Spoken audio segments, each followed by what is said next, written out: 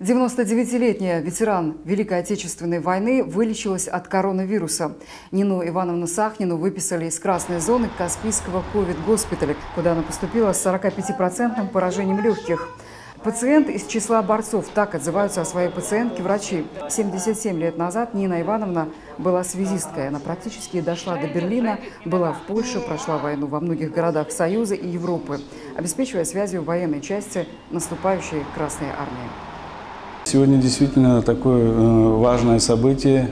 У нас э, с ковидного госпиталя выписывается пациент. Это непростой пациент, это участница Великой Отечественной войны. Ей 99 лет. Она поступила в тяжелом состоянии. Благодаря работе всего коллектива нашего ковидного госпиталя нам удалось ее вылечить.